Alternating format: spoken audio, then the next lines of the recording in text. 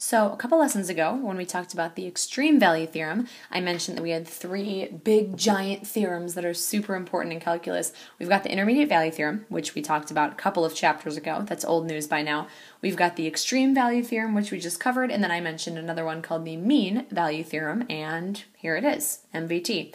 So that top sentence, the mean value theorem connects average rate of change with its instantaneous rate of change. So let me kind of sum up using an example because I know many of us are familiar with physics. We're familiar with this whole velocity, average rate of change of position type of idea. So picture you're driving and for some reason you decided you would calculate your average rate of change, your average velocity over the entire trip that you took. Um, and we did this, oh gosh, we did something like this a while ago and we said, you know, your cottage is 280 miles away and it took you three hours and 15 minutes to get there, something like that. I don't remember if those are accurate terms. But basically, what the mean value theorem says it says that if you calculate the average rate of change, that some point so say say that your average speed on the way up north was an average of 60 miles per hour the mean value theorem tells you that at some point, if your average rate of change was 60 miles per hour, at some point your instantaneous rate of change was 60 miles per hour, which makes sense. If the average speed of your trip was 60 miles per hour, of course, at some point you must have been going 60 miles per hour. And that's all based on the fact that your velocity was continuous and it's differentiable and things like that. So that's the basic idea. I've got a lot of different ways that I'm going to rephrase it because it's kind of a tricky theorem. So, hopefully, with a couple different rephrasings, maybe a couple of pictures, we will get a good idea of what exactly this theorem means. So, the actual theorem in actual math terms. Here's what we've got. If f of, s, f of x is continuous on the closed interval, differentiable on the interior, that's the open interval, and we saw that opening when we were looking at our last section. So we know that the continuous on the closed, differentiable on the open. Here is what is true then there is at least one point C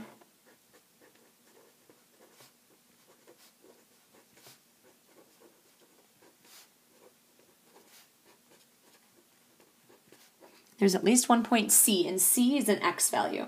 There's at least one point C in A to B. That's the open interval, at which f prime of C equals f of b minus f of a over b minus a. All right, so I want to make a couple notes on this just so we're clear on exactly what this means. So f of b minus f of a over b minus a, I'm hoping that we recognize that as a slope formula. This represents the slope of the secant line. This represents the slope of a secant line from a to b, the endpoints of that interval f prime of c, that represents the slope of a tangent line.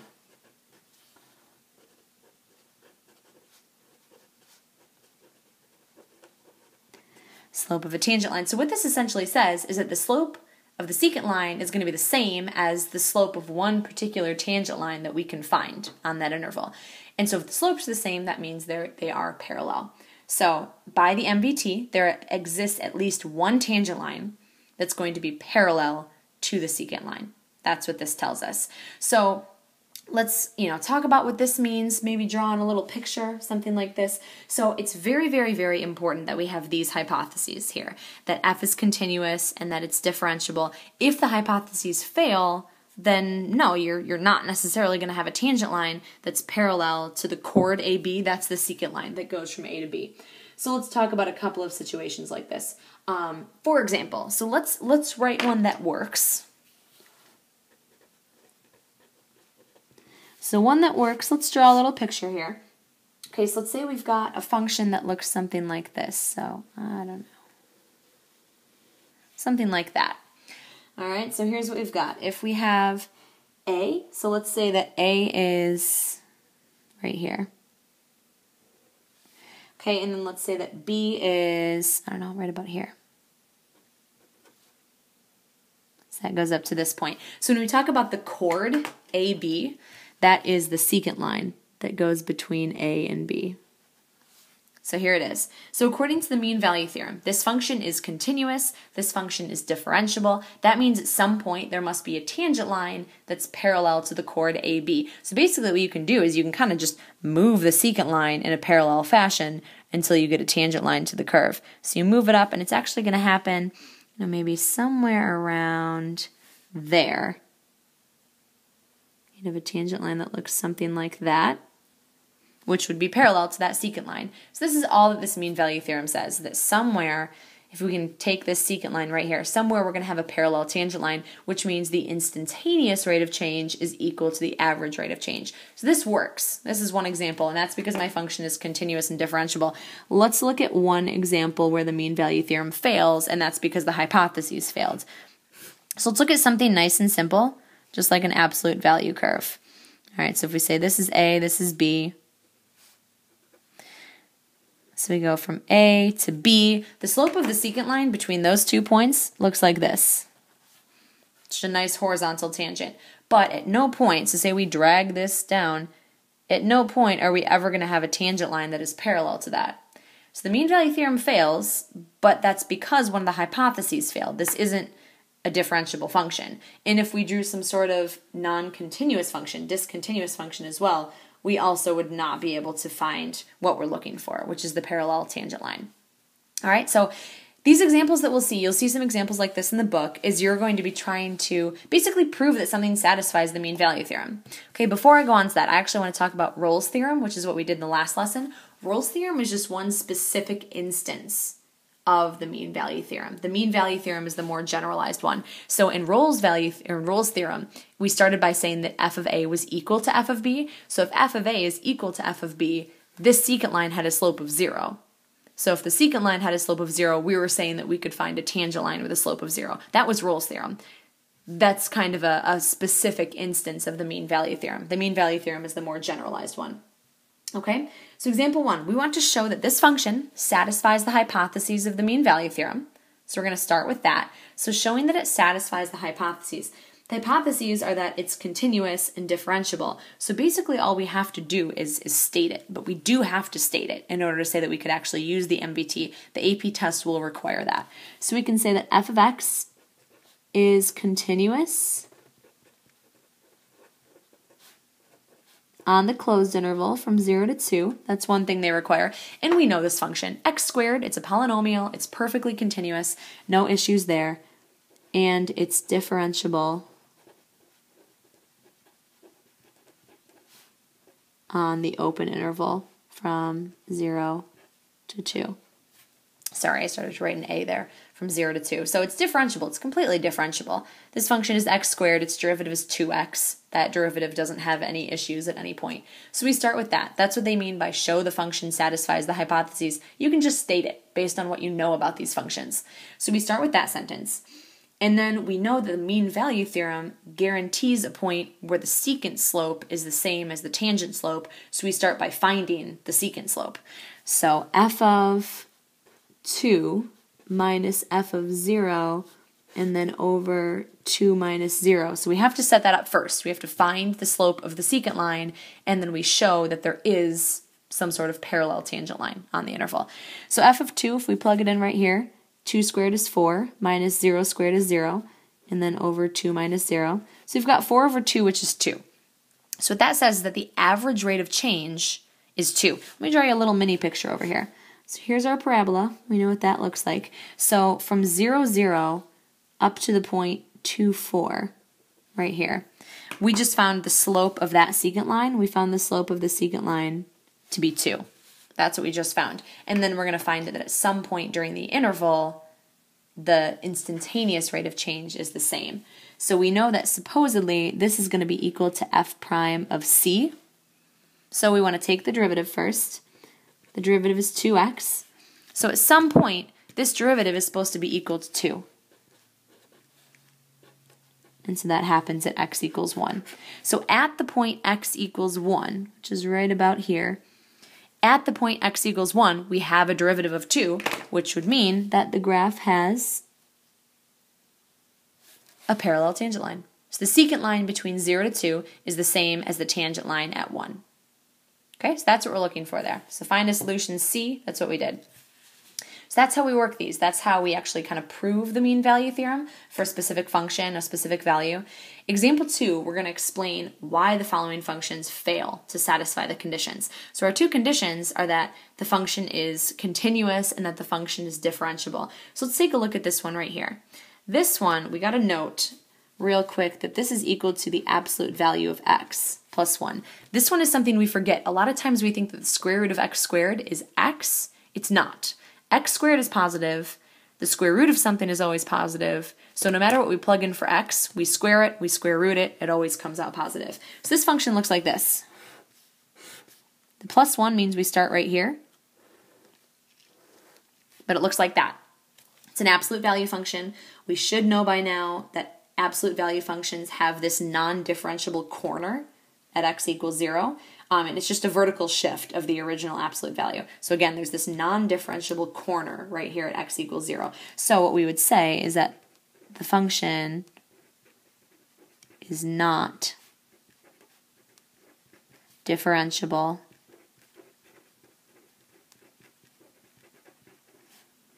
on, and then we state the open interval from negative 1 to 1. Because remember, differentiability should be occurring on the open interval, continuity should be occurring on the closed interval. All right, so let's look at this one. Take a look at this nice little piecewise function. Let's graph it. So for x is less than 1, if we plugged in 1 right here, we'd get 1 cubed plus 4. So we know we're going to have an open circle here. And then let's see what the rest of it looks like. Like for instance, if I plug in 0, I get 3.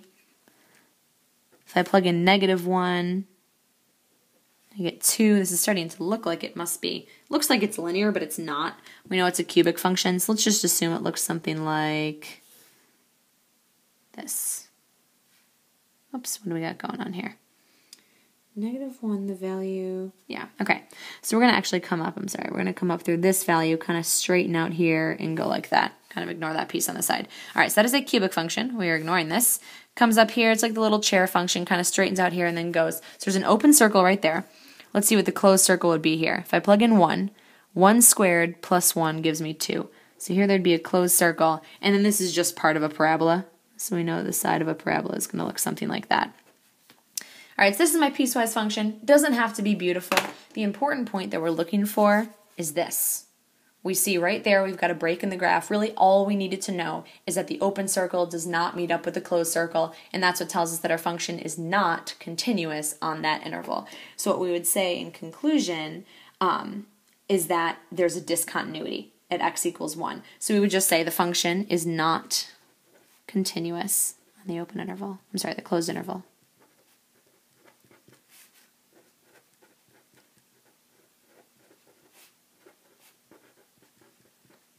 So close, but it was right at 1 that we had that discontinuity.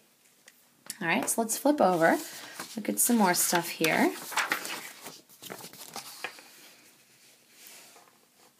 All right, to example 3.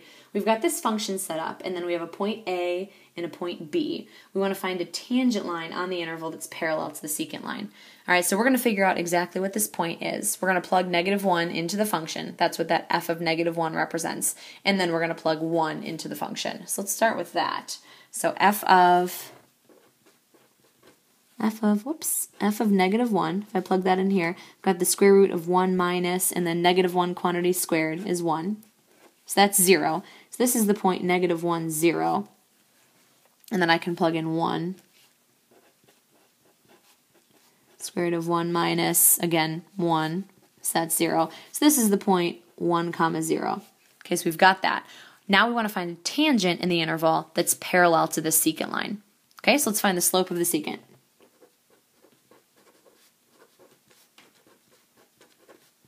That's just going to be a nice little slope formula. So f of 1 minus f of negative 1, and then all over 1 minus negative 1.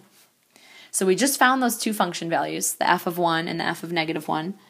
0 minus 0 over, and this comes out to be 2.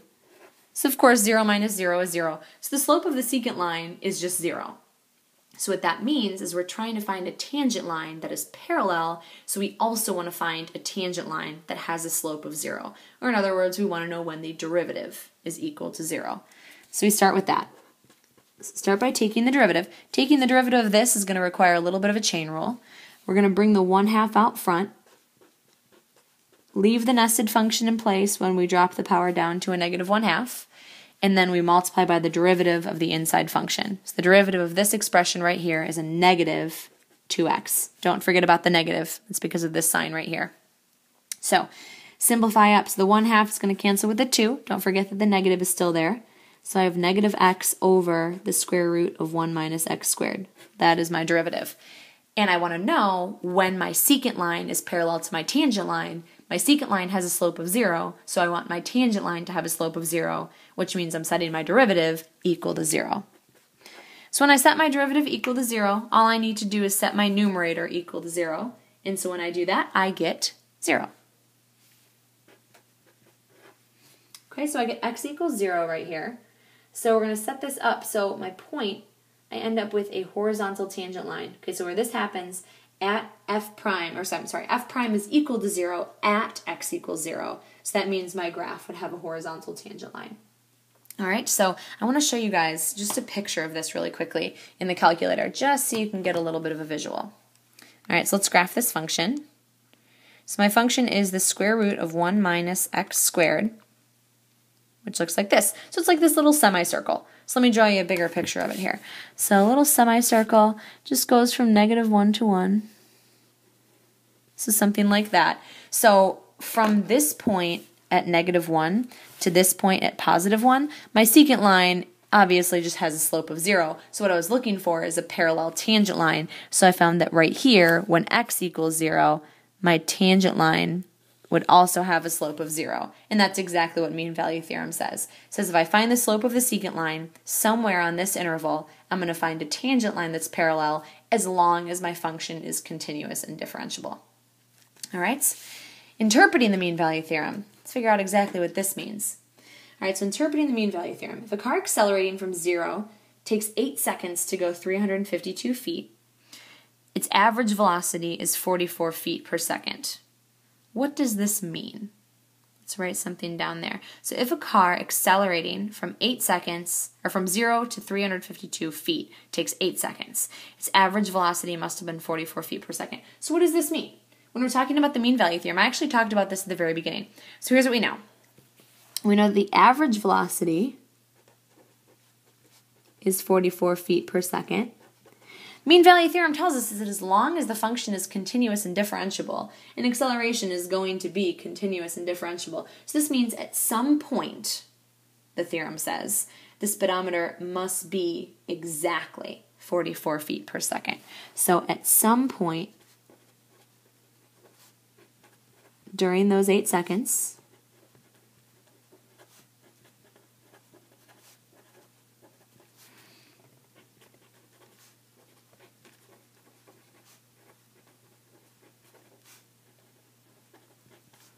Must be exactly 44 feet per second. Okay, and that's exactly what the mean value theorem tells us. It tells us that as long as the function is continuous and differentiable, the average velocity is going to be equal to the instantaneous velocity at some point. So that's just a nice little interpretation, kind of in context. Okay, let's talk about increasing and decreasing functions. All right, so definitions right here increasing functions, decreasing functions. So let f be a function defined at an interval, and let x1, x2 be any two points on that interval. So a function increases on that interval if x1 being less than x2 implies that, that's what this double arrow means, it means that implies that f of 1 is less than f of x sub 2. So what this basically says, so if x1 is less than x2, that means my x values are going up, it implies that my y values go up. So that's the definition of increasing means. It means that as my x values go up, my y values go up. Or if my x values go down, my y values go down. That's what it means to increase. Decreasing is exactly the opposite. This says if x1 is less than x2, meaning my x values are going up, that implies that my y values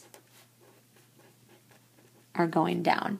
So increasing x values imply decreasing y values. In other words, I decrease as I go from left to right. So that's like the official technical definition of what it means to increase or decrease.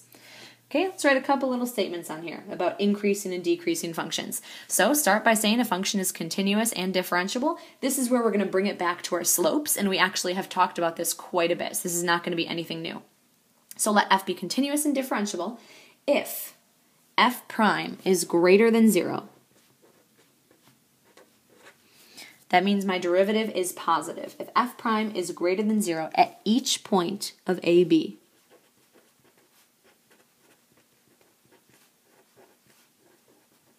So if I can find an interval where my derivative is always positive, then what that means is that f is increasing on that interval.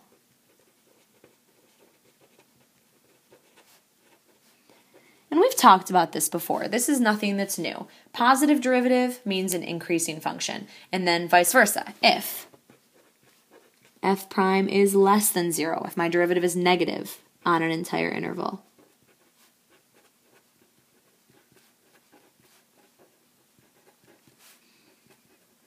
Then f is decreasing.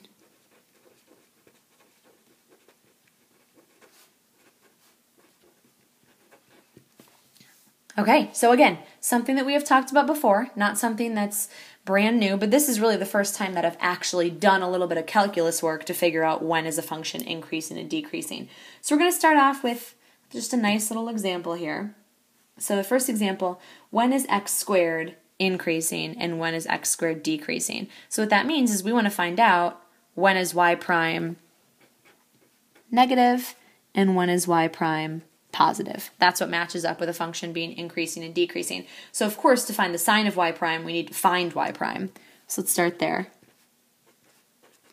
The derivative of x squared is 2x, so I'm starting you off with a nice, easy example.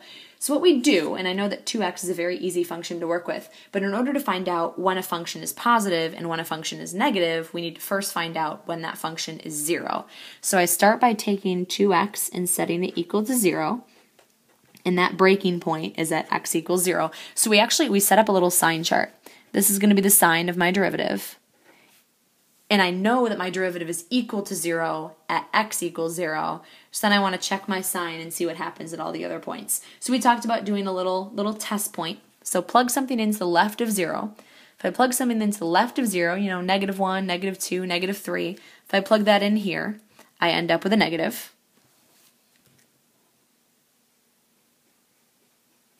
And then I know that here I get a 0. So this is x equals 0, just to make that clear. And then if I plug in something above 0, 1, 2, 3, something like that, if I plug that in here, I'm going to get something that's positive.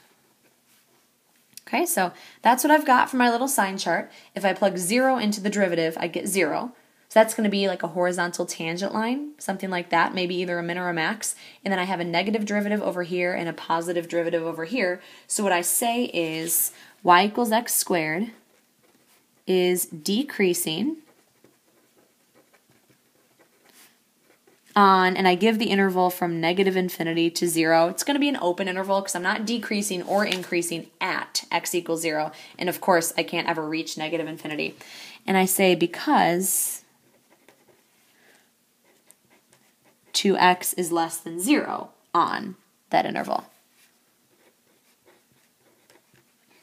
You always want to explain. We want to get in the process now of explaining because the AP test will always require it.